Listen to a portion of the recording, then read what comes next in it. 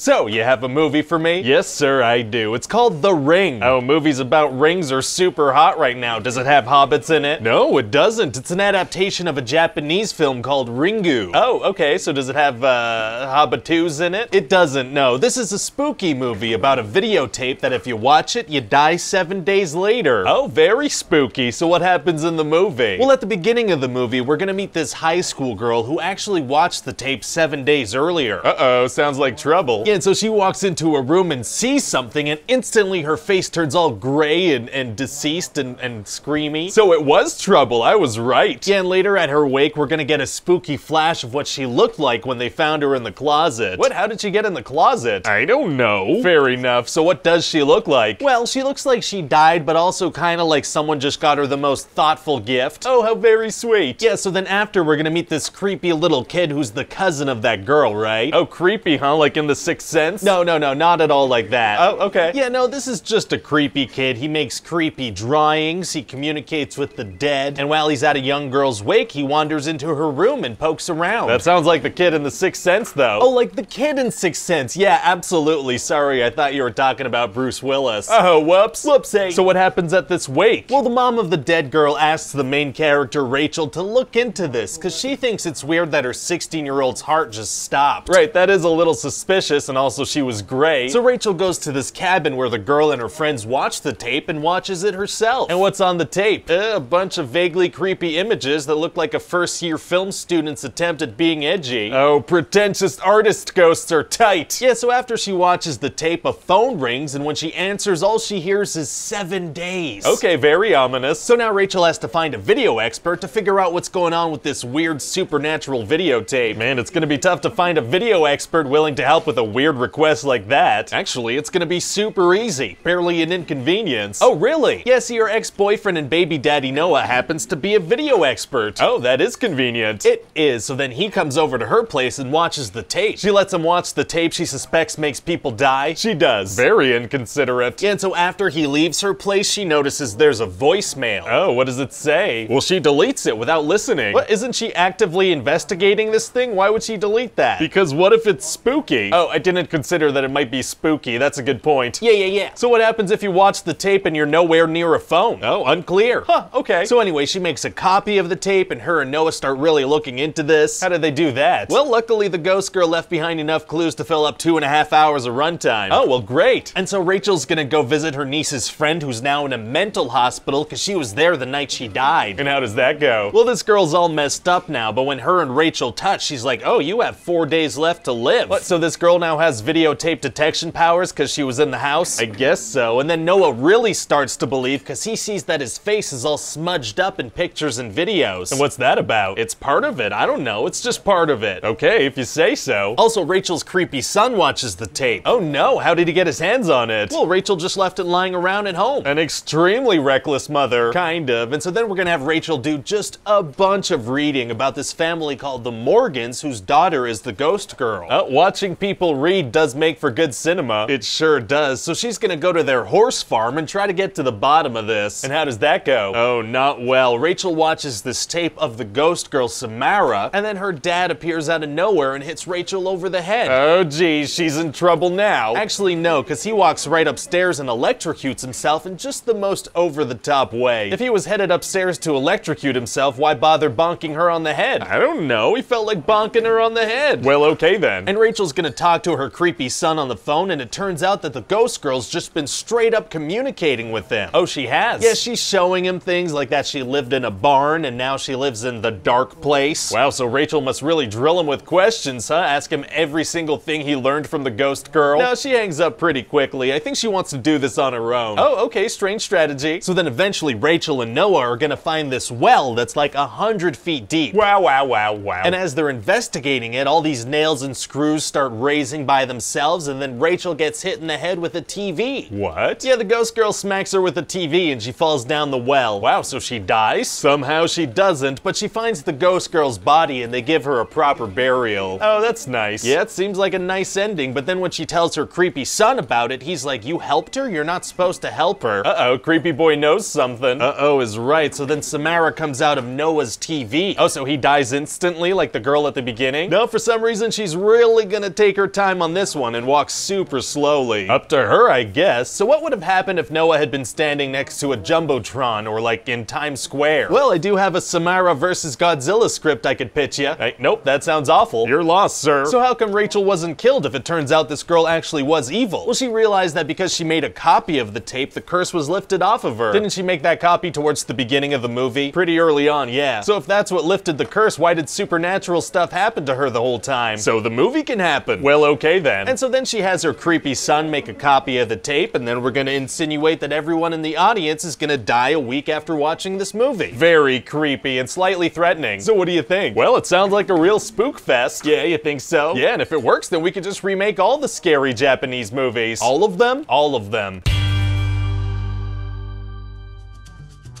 Hey guys, it's Ryan here. Hope you like that pitch meeting. There are over 100 episodes of pitch meeting on the channel that you could check out. I also have some other videos on there, so click around. Also, let me know in the comments section what other movies you'd like to see these pitches for. Don't forget to hit the like button, the subscribe button, the bell button, the button button, I don't know. Thanks for watching, guys. I'll see you next time.